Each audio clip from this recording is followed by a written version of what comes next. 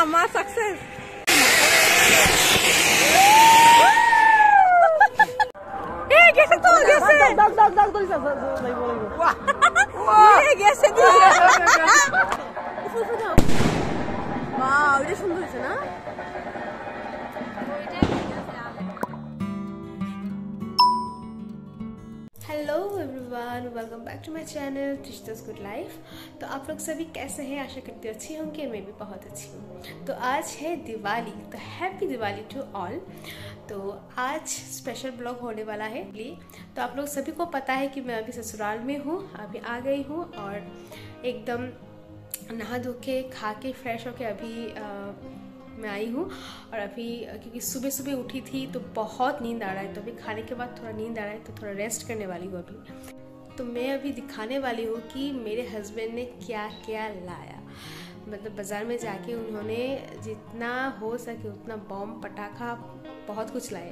तो अभी देखिए ऑलरेडी सो रहे हैं। उस, उनका नींद मतलब कंटिन्यू है। अभी मैं नहीं सो पाई हूँ। तो मैं अभी सोऊँगी, मुझे भी नींद आ रहा है तो मैं आप लोग को दिखा लेती हूँ क्या क्या पटाखा आया है। वो आप लोगों के साथ शेयर कर देती हूँ। और रात में ही होगा धमाका। और ना इतना बारिश हो रहा है अभी, क्या बोलूँ? आप लोगों को मैं दिखाती हूँ। और ये है मेरा रूम देखिए। ये लेके जाती हूँ आप लोगों को। ये देखिए।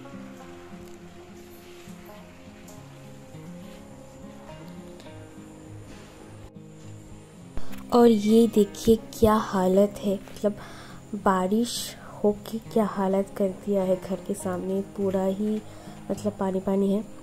पता नहीं क्या होने वाला है दिवाली इस बार। और ये है सीढ़ी मतलब टेरेस पे जाने के लिए। तो मैं दिखाती हूँ आप लोगों को पटाखा कहाँ रखा हुआ है। चलिए मेरे साथ आप लोग देखिए कहाँ रखा हुआ है। पूरा एक बैग पूरा ही मतलब भरा हुआ है पटाखा से।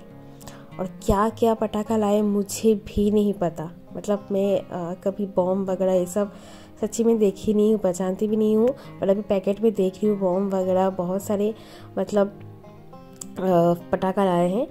तो अ, वही देख रही हूँ मुझे खुद भी नहीं पता क्या क्या पटाखा है इधर पे। पर बहुत सारा पटाखा लाए पूरा एक बिक, और एक्चुअली क्या है, मेरे हस्बैंड जो है, बहुत दिन के बाद दिवाली पे आए हैं घर पे।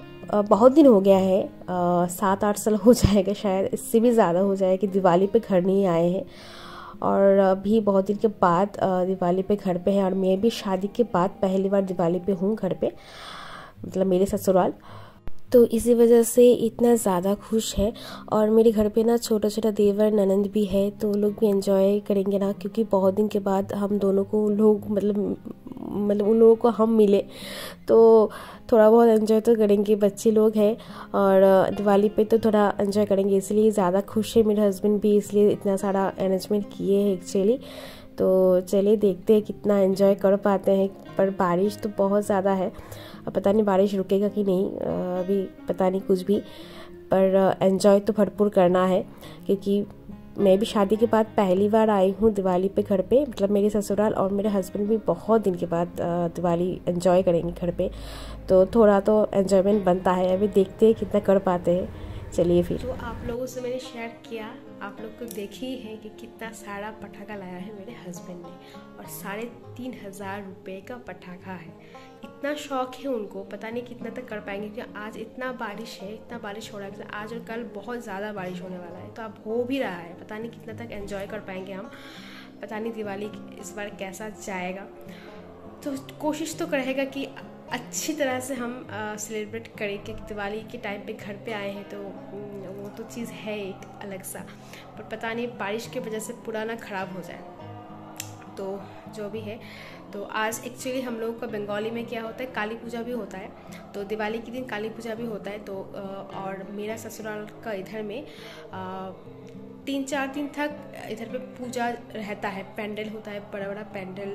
तो बड़े बड़े पैंडल में बड़े बड़े मूर्तियाँ भी होते हैं, काली का मूर्ति होता है। तो मतलब बहुत अच्छी तरह से सेलिब्रेट होता है इधर पे। और तो तीन चार दिन तक रहता है और उससे भी ज़्यादा भी रहता है। तो वही देखेंगे, आप लोगों से शेयर भी करेंगे। पर पता नहीं कि बारिश के लिए मतलब होने वाला है कि नहीं होने वाला मतलब एंजॉय कर पाएँगे कि नहीं कर पाएँगे पता नहीं। पर जितना भी एंजॉय करेंगे, आप लोगों से शेयर ज़रूर करेंगे। तो अभी मुझे बहुत ज़्यादा नींद आ रहा है, क्योंकि आप लोगों को पता है कि मैंने मायका से मैं जब ससुराल आई थी मतलब सुबह उठी थी साढ़े चार बजे और हम लोग साढ़े पाँच बजे निकले थे, ट्रेन था हम लोगों का छः बजे का। और साढ़े आठ बजे हम लोग पहुँच गए थे सुबह के। तो सारा बारह बजे मैंने रात में सोया था और साढ़े चार बजे उठ गया। बस चार घंटा सोई थी तो अभी नींद आएगा। अभी खाई भी हूँ लंच भी किया लंच भी किया है तो अभी बहुत ज़्यादा नींद आ रहा है। तो अभी सोना है और सोने के बाद फ्रेश होके आप लोगों से मिलते हैं। तो अभी के लिए टाटा। तो देखिए, इधर मेरे हस्बैंड ने जब सुबह में पटाखा लाने गया था तो वो ये सब बाज़ार भी करके लाए थे। तो कुछ सब्ज़ी और कुछ ग्रॉसरी आइटम थे तो ये सब लाए हैं। क्योंकि देसी सब्ज़ियाँ हैं मज़ा तो आने वाला है और विंटर का सब्ज़ी तो बहुत ही अच्छा होता है।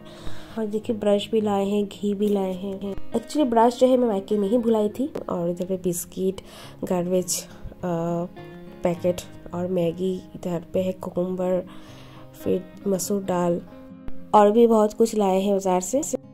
तो आज दिवाली है और दिवाली के दिन सारे घर में सारे घर का एक एक कोने में जहाँ भी अंधेरा है हम लोग को दिया जलाना है कैंडल जलाना है कि बुरी शक्तियाँ ना आ पाए।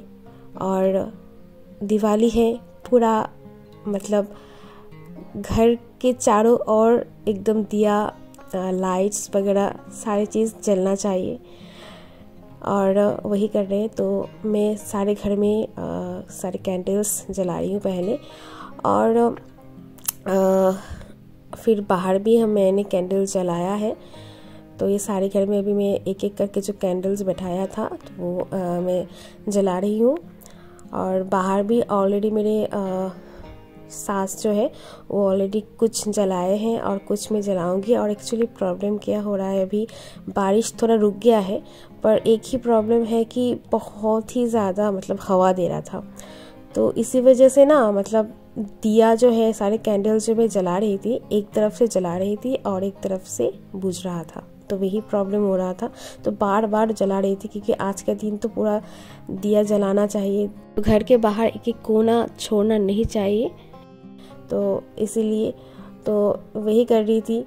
एक तरफ़ से बुझ रहा था और और एक तरफ़ से मैं फिर से जला रही थी। और हवा की वजह से ना मतलब इतना ख़राब लग रहा था कि आराम से जो सजा के मतलब रख पाऊँगी, पूरा कैंडल जला के, वो हो नहीं रहा था। बहुत ही गंदा लग रहा था सच्ची में। तो जो भी हो जैसा भी हो अच्छा ही लग रहा था फिर भी। फिर हवा के लिए सिर्फ़ थोड़ा प्रॉब्लम लग रहा था। बस और कुछ नहीं। सामने जो दिया लगाया है हमने घर के सामने वो तो अच्छे तरह से जल ही रहा है। सिर्फ़ बीच बीच में थोड़ा सा बुझ रहा था पर ऊपर का जो लाइट्स हम लोग ने लगाया है टूनी लाइट्स सारे लाइट्स ना पूरा ख़राब हो गया। मतलब पूरा दिन ही बारिश आ, हो रहा था तो लाइट्स थोड़ा ख़राब हो गया है। और इसी वजह से मन भी मेरा ख़राब हो गया मतलब इतना शौक से सजाया है वो भी ख़राब हो गया।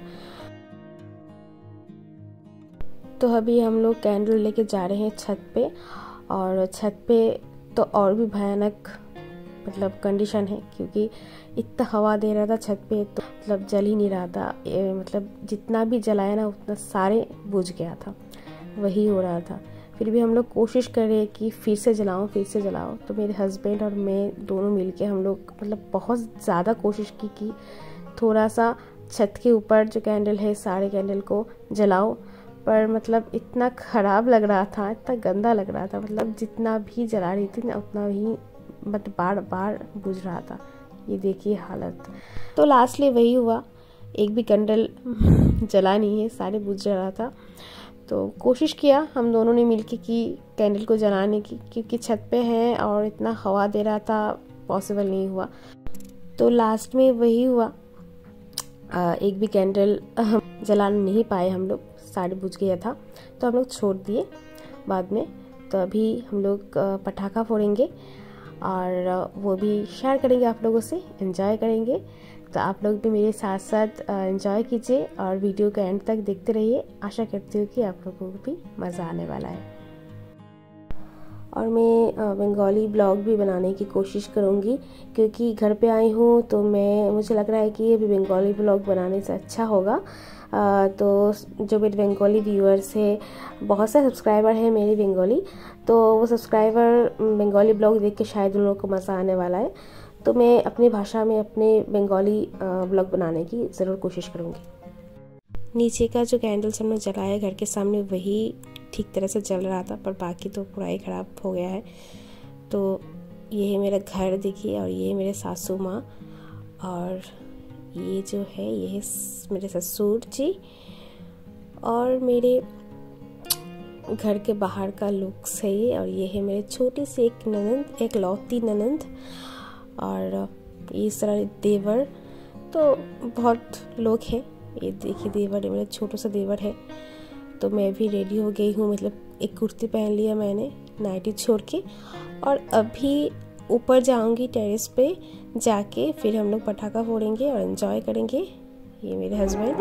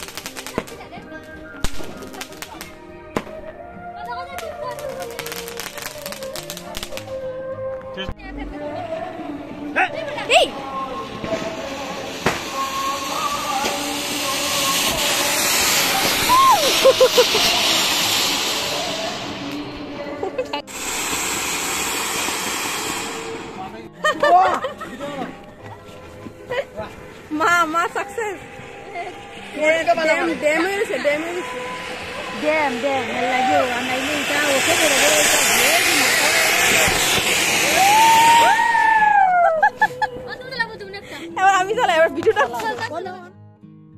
तो ये है स्काई लैंटर्न सब लोगों को पता है, सब लोगों को जलाना भी आता है, पर मैं कभी भी नहीं जलाई हूँ स्काई लैंटर्न मतलब कभी भी नहीं उड़ाई हूँ ऊपर।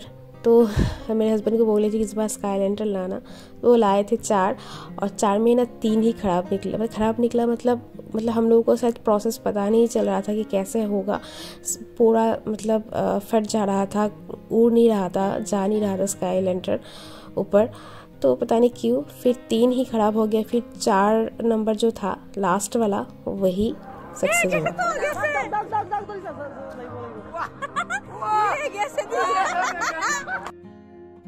और ये देखिए लास्ट वाला सक्सेस हुआ, जा रहा है ऊपर तो अच्छा लग रहा था।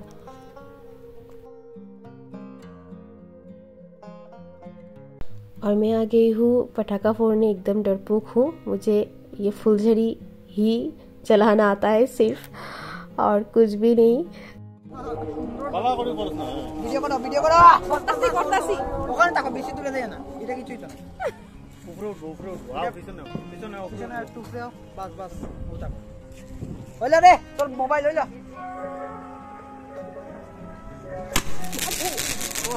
যদি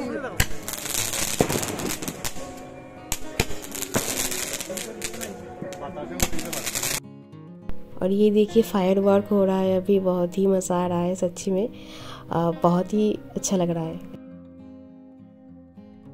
तो ये और एक पटाखा है जो मैं होने वाली हूँ अभी। आ, मैं बहुत ज़्यादा डटपुक हूँ और पहली बार मुझे ऐसा वाला पटाखा फोड़ने को मिला है तो मैं छोड़ी नहीं हूँ तो मैं कोशिश कर रही हूँ जलाने की। और ये भी पटाखा बहुत ही खूबसूरत है। एकदम ऊपर जाके फूटने वाला है और देखिएगा कितना खूबसूरत लगेगा।